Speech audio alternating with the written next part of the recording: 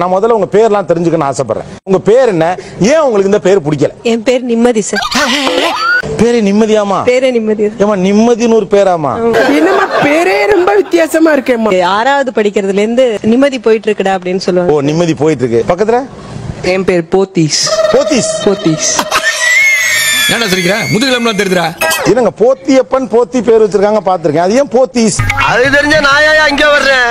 தெரியாம தான் இங்க வந்து குத்த வச்சேன். இல்ல உண்மையாவே அந்த கடை பேரை தான் வச்சிருக்காங்களா உங்களுக்கு? எந்த ஊர் நீங்க? இங்க தா சென்னை தான் சார் என் பேர் தமிழ்நாடு சார்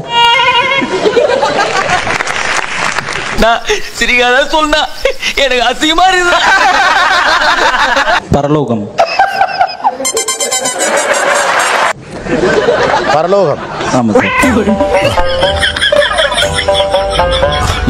அதான் பேரே பாஸ் அதான் சார் பேரு. இன்னைக்கு காலையில வந்து மதுரையில இருந்து நான் வந்த ஷோக்காக ஓலா புக் பண்ணிருந்தேன் என்ன பேர் தம்பி அப்படின்னாரு? அத வேற ஞாபகப்படுத்திட்டீங்க.